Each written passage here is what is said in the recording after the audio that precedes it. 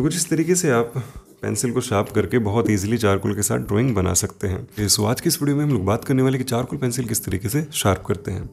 तो सबसे पहले हम लोग इसको कटर के साथ, आपके पास कटर हो या फिर कुछ इस तरीके का कोई ब्लेड हो, वो भी आप यूज़ कर सकते हैं। सो सबसे पहले इसको कटर के साथ हम लोग इसका जो वुड पार्ट है, वो हटा देते हैं थोड़ा। और आपको कुछ इस तरीके की मूवमेंट रखनी है कि यहाँ पर आपने ब्लेड रखा और हल्के हाथ से या तो ब्लेड को आगे कीजिए या फिर पेंसिल को पीछे कीजिए। इसमें से एक चीज़ आपको करनी है कुछ इस तरीके से। और ये आपको हल्के हाथ से करना है। ज़्यादा प्रेशर दे के मत कीजिएगा, क्योंकि इससे जो चारकोल है वो टूट सकता है। तो इतना हो जाने के बाद अब हमें सैंड पेपर लेना है और पेंसिल को हमें कुछ इस तरीके से शार्प करना है। आप दोनों में डिफरेंस देख सकते हैं। मैं आपको बताता हूँ। पहले हम लोग एक बार इसको शार्प कर लेते हैं, फिर मैं आपको बताता हूँ। तो हल्के हाथ से आपको इस पर इसकी सेंडिंग करनी है। और बिल्कुल पॉइंट नहीं बनाना, आपको थोड़ा गोलाई में रखना है, इसको सर्कुलर मोशन में। अब आप देख सकते हैं कि हमारी पेंसिल जो वो शार्प हो गई। अब मैं आपको बताता हूँ कि हमने इसको इस तरीके से शार्प क्यों किया है। अब हमारे पास पॉइंटेड पेंसिल भी है और उसके साथ साथ हमारे पास स्ट्रेंथ भी आ जाती है। और इसको आप थोड़ा और यहाँ से गोलाई दे सकते हैं, कुछ इस तरीके से। बजाय उसके कि आप एकदम उसको इस पॉइंट में बनाएँ, पेंसिल को, शार्प करें, हम लोग इस तरीके से उसको शार्प कर सकते हैं। तो ये वाला जो हमारा पेंसिल शार्प करने का तरीका ये काफ़ी स्ट्रॉन्ग रहता है और इससे हमें ड्रॉ करने में भी काफ़ी इजी हो जाता है।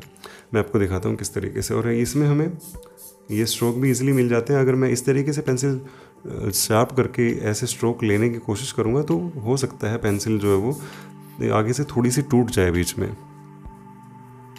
सो अब हम लोग एक ड्राइंग बना के इससे देख लेते हैं।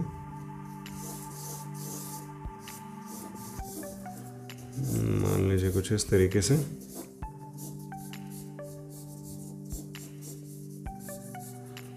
इसको मैं यहाँ से डबल कर देता हूँ।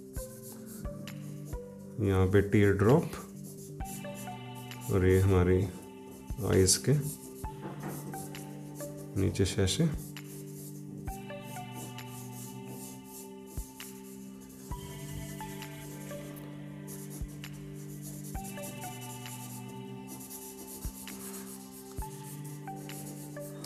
और इसको यहाँ से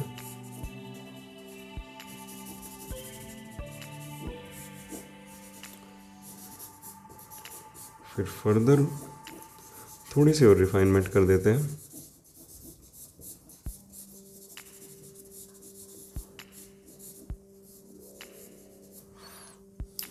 सो so, अभी ये इतनी ज़्यादा डायमेंशन इसके अंदर नहीं नज़र आ रही है तो मैं हल्का सा इसको रिफाइन कर देता हूँ अभी।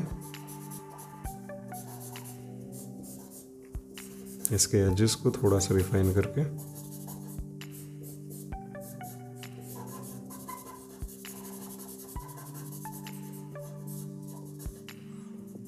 तो यहाँ पर हमारी टीयर ड्रॉप कुछ इस तरीके से आ जाएगी।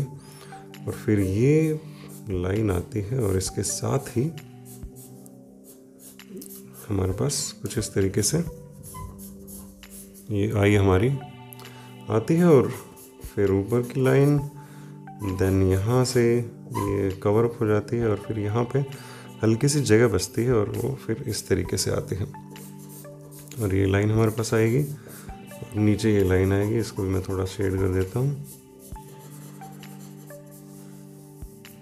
तो अब हमारी जो चारकोल ड्राइंग है वो काफ़ी जल्दी इससे कंप्लीट हो गई और इतना टाइम हमें इसमें लगा नहीं।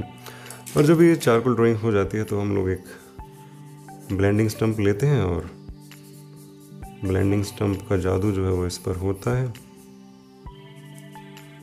आप देख सकते हैं, इतने इजीली हम लोग एकदम। बहुत इजी है। जो ड्राइंग है, वो इतनी ज़्यादा डिफ़िकल्ट है नहीं जितना एक्चुअल में चीज़ों को दिखाया जाता है, वो उतनी डिफ़िकल्ट होती नहीं है। तो यहाँ पे जो हमारी आई ड्राइंग है, वो रेडी है।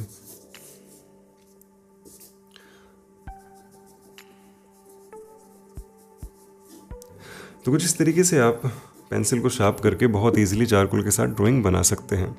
सो आज की इस वीडियो में इतना ही। मिलते हैं आपसे अगली वीडियो में। तब तक के लिए हैप्पी पेंटिंग आपने मुझे इतना समय दिया, उसके लिए बहुत बहुत शुक्रिया।